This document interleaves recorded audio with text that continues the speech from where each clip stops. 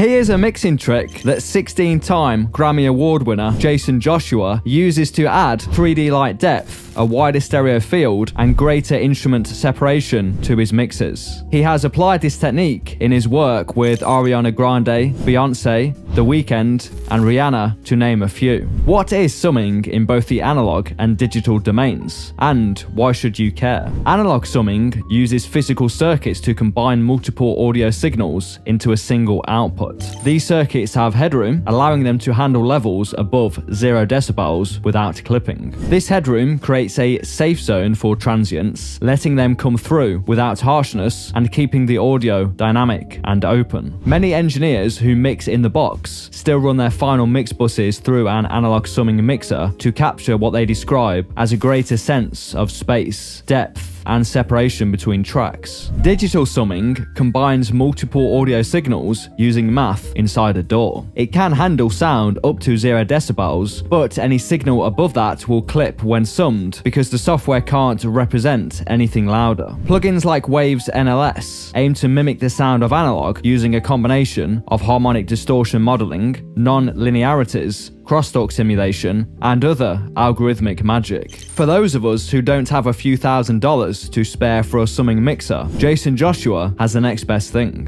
For this trick, you'll need Waves NLS, which is often on sale for $30, but keep watching for a zero cost alternative. Load up 8 instances of NLS. On each plugin, you can choose which engineer's console it's modeling. Dial in this pattern Mike, spike, Mike, Mike, Mike, spike, Nevo, Mike kind of like a PlayStation cheat code, right? If Joshua needs to reduce the chain's impact, he'll remove the second and sixth NLS plugins, which are both set to spike. This technique originates from engineer Steve Hybicki, who sent Joshua this chain on a project. Joshua initially thought it was a mistake until he bypassed the chain and heard what it was adding. It has since become a permanent part of his Pro Tools template, used on both his drum and bass buses, as well as getting all the benefits that digital summing emulations Joshua describes this trick as adding a psychoacoustic low end that doesn't increase the signal's level but actually reduces it. This makes the low end sound heavier without taking up more volume, which is the holy grail in mixing.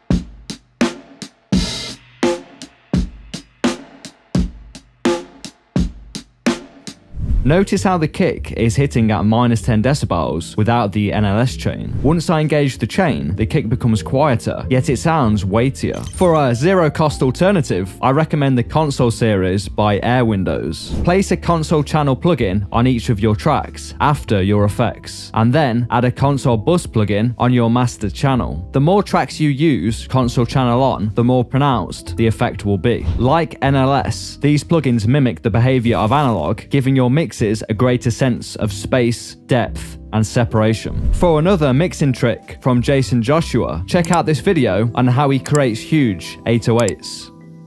Thank you for watching.